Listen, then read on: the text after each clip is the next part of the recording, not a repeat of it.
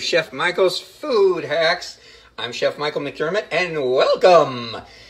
Who lives in a pineapple under the sea? Suns, bars, and, and. Anyway, um, first I want to show you what we're going to do today. We're going to prep this pineapple. We're going to peel it.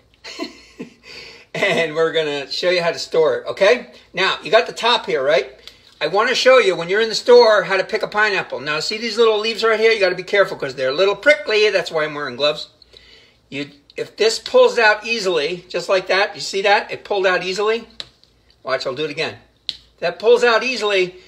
That means that the pineapple is wrap. General rule, okay? So now, what I'm going to do is I'm going to break the top off. And you might want to do that if you're going to put this in the refrigerator. I just snap the top off. Okay?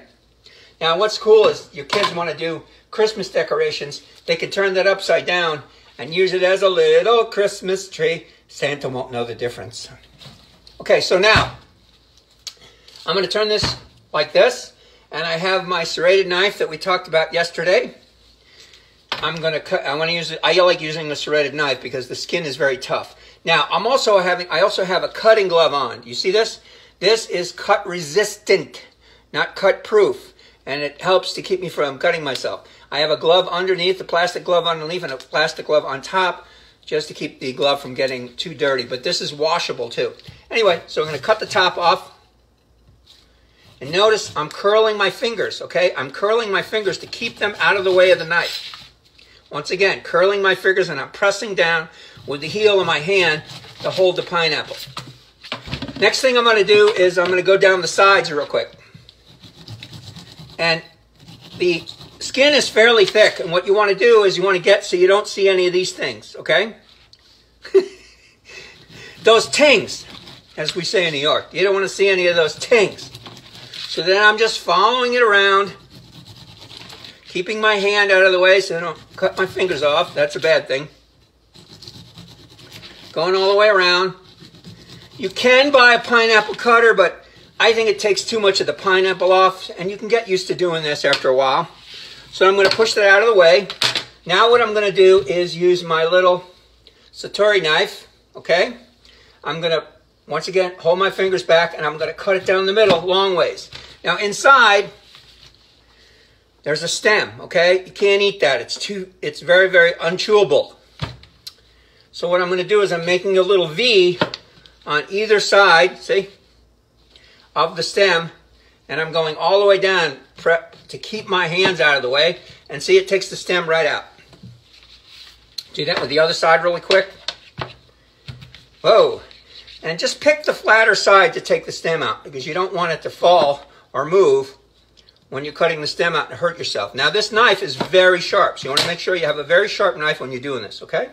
So now what I'm going to do is I'm going to cut it into pieces, and this will keep about three to five days in the uh, in the refrigerator, covered. And if you notice, I have my lid and I have my label. I'm all set. Now, this is really good for you to have in the refrigerator. You want to have two or three fruits that are made up. You can even make a fruit salad with this. You can cut up, put some grapes in here, and put some strawberries in with it. Okay? Now, you get a slice like this. And what I normally do is cut the slice in three pieces. And I do it usually all at once, but it fell down. So then I pick it up with the knife very carefully. And now I want to show you a trick. I pick it up with the back of the knife so I don't get myself cut, okay? And also I don't hurt the blade of the knife. But you can also just pick up the pineapple with your hands, all right? I'm going to do this real quick.